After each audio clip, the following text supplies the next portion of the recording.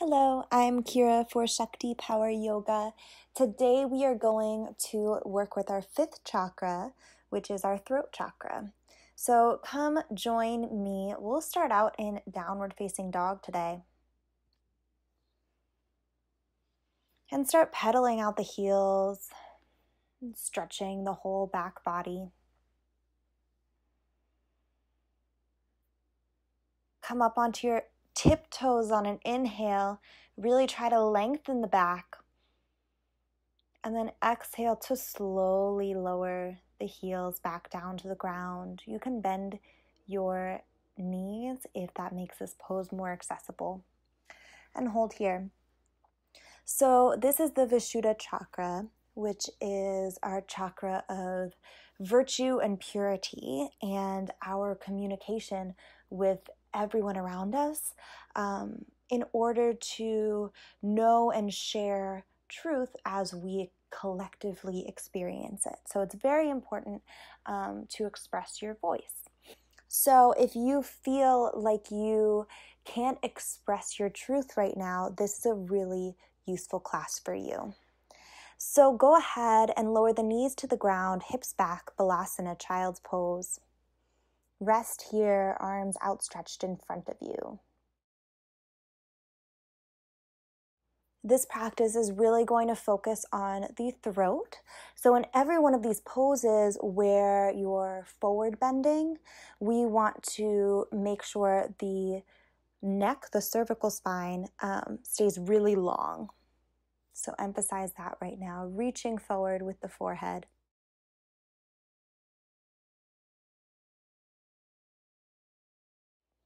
And now we'll go ahead and rise up to Tadasana pose, mountain pose.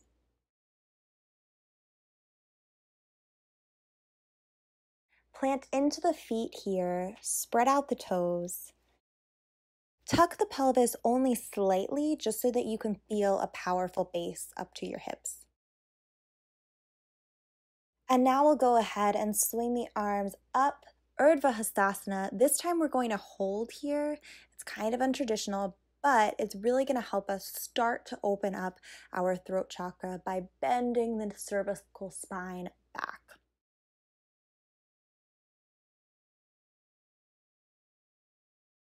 Like I said, this is Vishuddha. Um, the color of this chakra is blue and the sound is hum and the one word answer for what it represents is communication.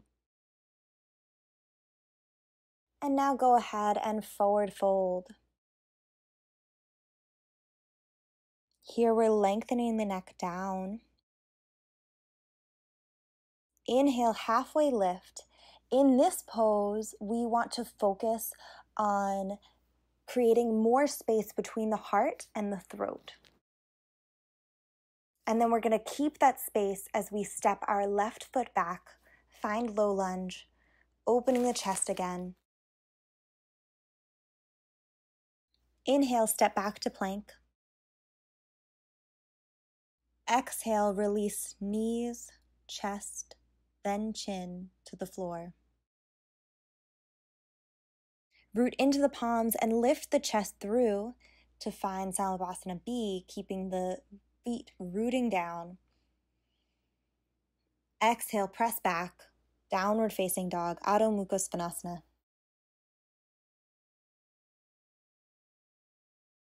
Inhale, left leg comes through, rise Anjaneyasana. Exhale, palms back to the ground. Inhale, Ardha Uttanasana. Exhale, Uttanasana. Swan dive up, Urdhva Hastasana on the inhale. Exhale, hands to heart. Grow tall here. We'll do that all again. Inhale, arms rise. Exhale, fold down, Uttanasana. Inhale, the heart rises, Ardha Uttanasana.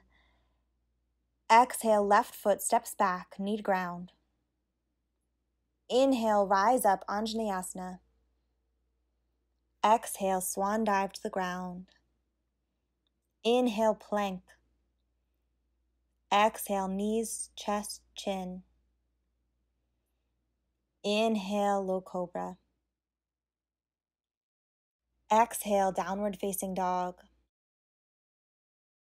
Inhale, left leg comes through, Anjaneyasana. Exhale, hands lower.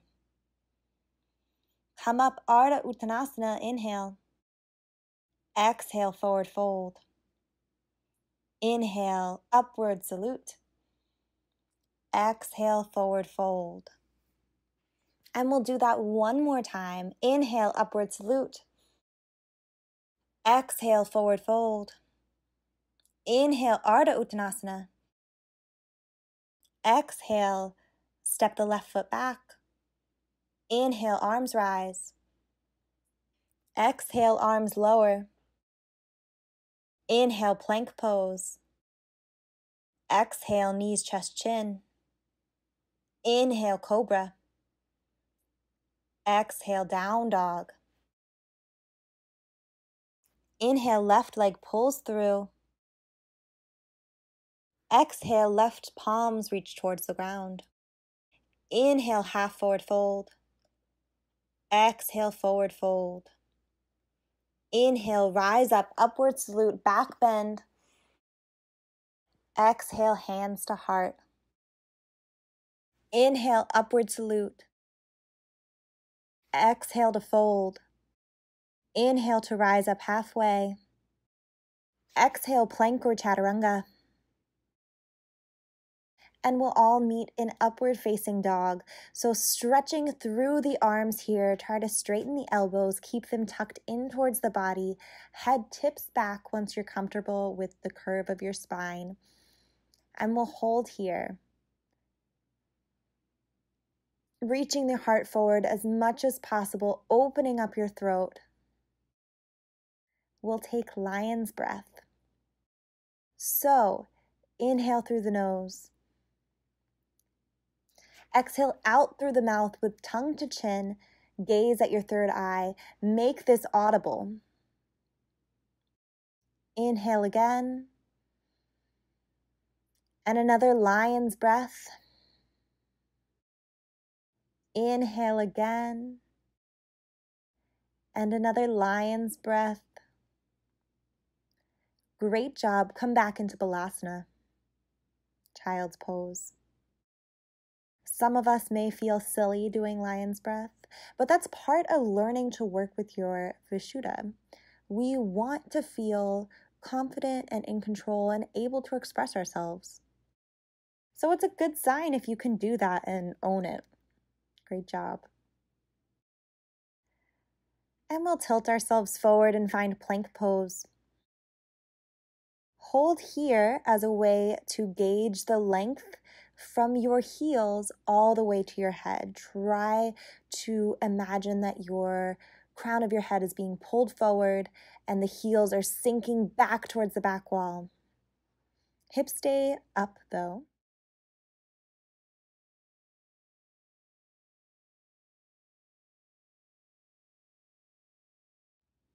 And now we'll lower all the way to the ground.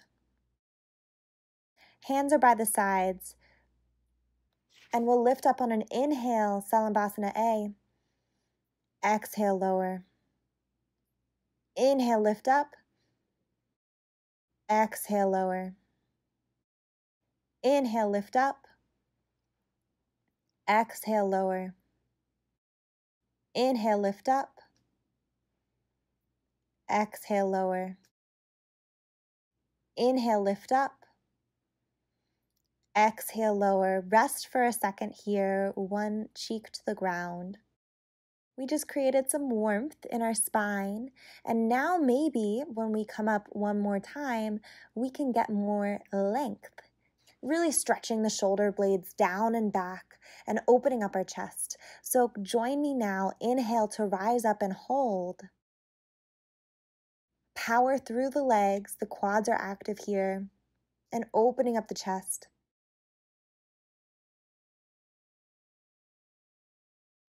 and release come with the opposite cheek to the ground.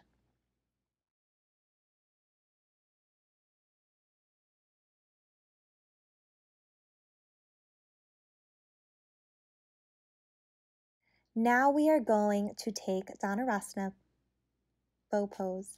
So reach back, grab your ankles, flex the toes, and now we'll lift up again, kicking into the heels our quads are super active this time, trying to straighten the knees. And we'll hold this. If you find yourself rocking back and forth um, with your breath, that's just an internal massage and it's really good for you. So stay with whatever motion you find if you find yourself rocking. Great job. One more breath. And come down, cheek to the ground, rest. We're going to come into the same pose once more, but this time I really want you to emphasize not only your chest, which is what um, probably is the typical focus. I want you to also emphasize your throat chakra here. So, mm, breathing with the neck really long in this pose, we'll lift up again, kicking through the legs, straightening the arms, protecting the low back by keeping the quads really flexed and then lengthening the crown of the head as much as you can up towards the sky. Almost there. Great job.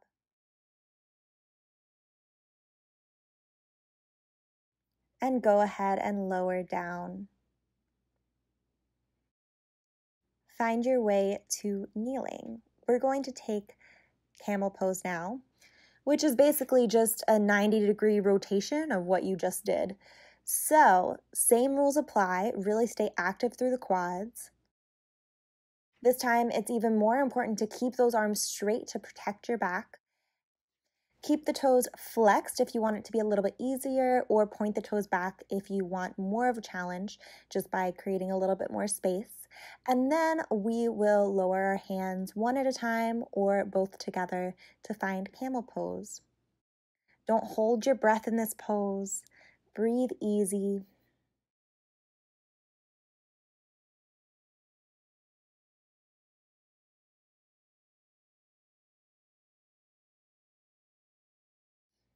Now we're really exposing our neck here because the head can drop back a little bit further than it could in Dhanurasana. So stay with that. You're energizing your Vishuddha here. And really flex through the hip flexors again as you rise up slowly to protect your back.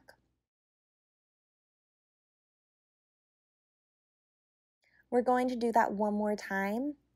You should stay with this if you don't have experience. Um, but if you want, you can, instead of taking camel pose Ustrasana, take Laghu Vajrasana instead, which is the same pose, but your hands are less supportive. So we'll do that all together now. I'm dropping back into Laghu Vajrasana, which means that my hands are resting on the back of my knees. Emphasize flexing the hip flexors, flexing the quads to support the back. And let your neck relax.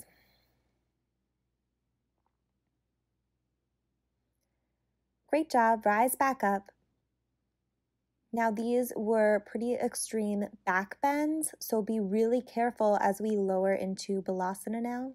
Keep the arms back by your sides so that you're not stretching too far into a forward fold.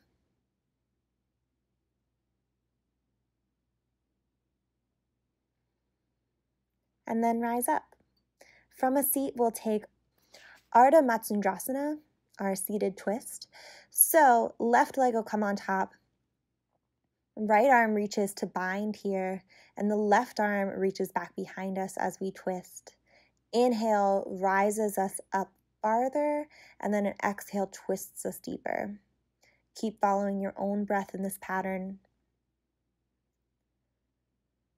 We're nurturing the spine here since we just made it do a lot of back bending work. And we have a little bit more back bending in store for it.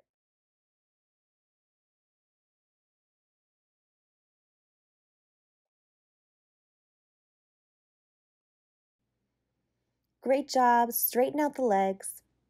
Dandasana, staff pose. And now your right leg will come on top. Left arm binds with that right leg and right arm twists behind us. Go ahead and follow the breath once more. Inhale, rise up. Exhale, twist deeper. Follow your own breath with this pattern.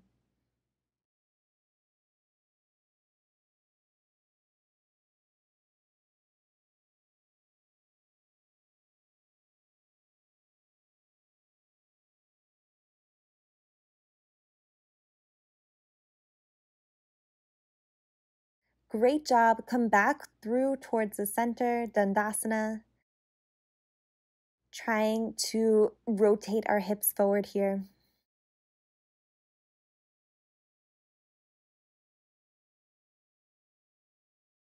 And forward fold right through the center.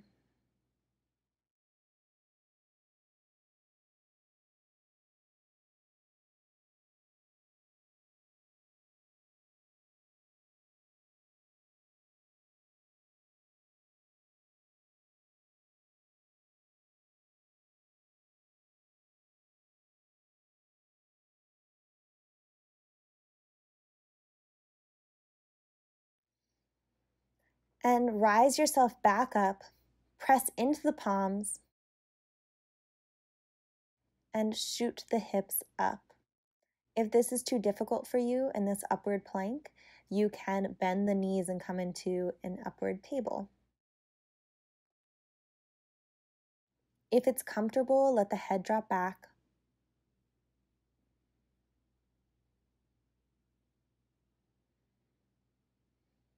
I always feel this as a really great and unique shoulder stretch. And come back down.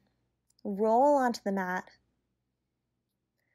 Legs rise up slowly and will come all the way back into Halasana.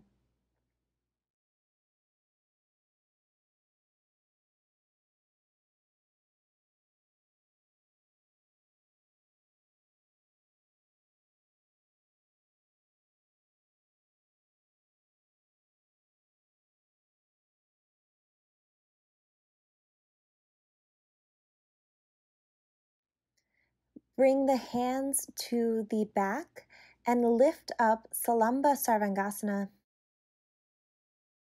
This is a really great restorative pose if you do any kind of leg workout, running, cycling, or just lifting. This is really good for your circulation. But it's also really good for the throat chakra because we're creating this lock here in your throat.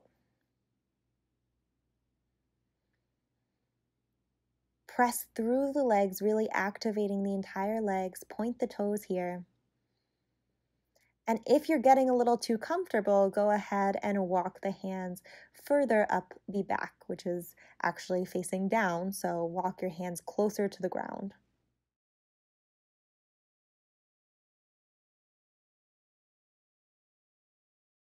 Three options here. You can stay right here for another minute.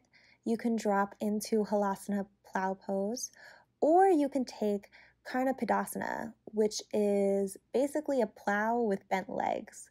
So if you're comfortable in plow, you can go ahead and lower the knees to the outsides of the ears.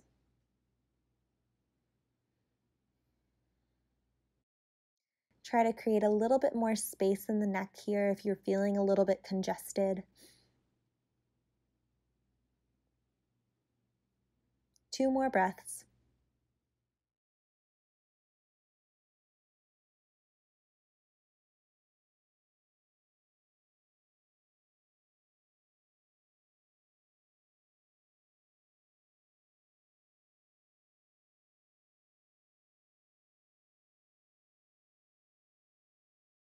And go ahead and slowly lower the legs all the way back out in front of you.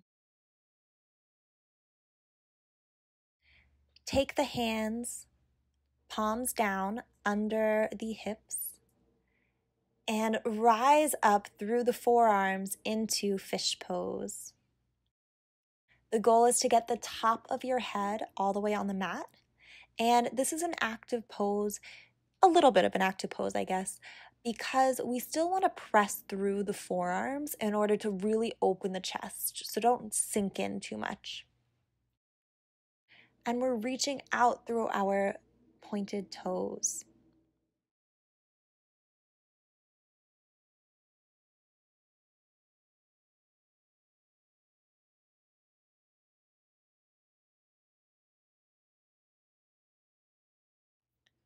and lower all the way and find your way into Shavasana.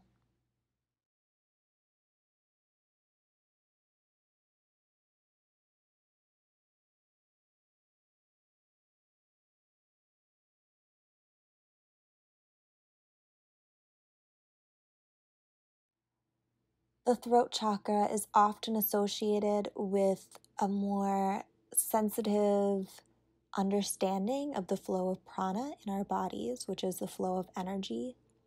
So you when you make it up to the energy of the fifth chakra, you no longer feel conflicted or um, pulled in opposing directions of love and compassion.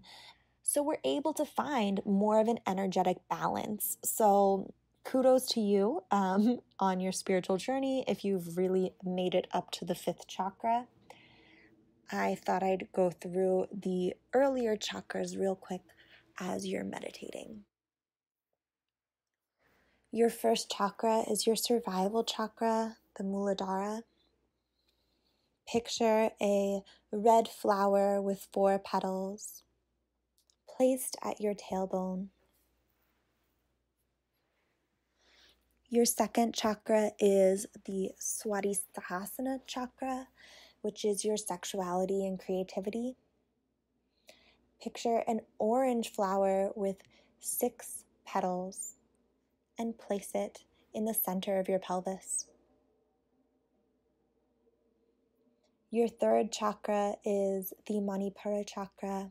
It's for power and picture a yellow flower with 10 petals placed right at your solar plexus, so about two inches above your belly button. Your fourth chakra is the Anahata chakra, the love chakra. It's green and it has 12 petals. Place it over your heart, but in the center. And now we've made it to the Vishuddha chakra, which is the communication chakra. It's blue and it has 16 petals and it lies right on your throat. This is the fifth of seven chakras. Your sixth chakra is the Ajna chakra. It's purple and it only has two petals, and it's right at your third eye, right between your eyebrows. Your seventh chakra is the Sahasrara chakra, which is all colors and has a thousand petals, and it emanates from your crown of your head. It's for all understanding.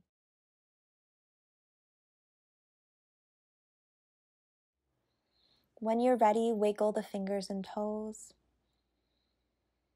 and find a seat moving with your own ease and at your own time.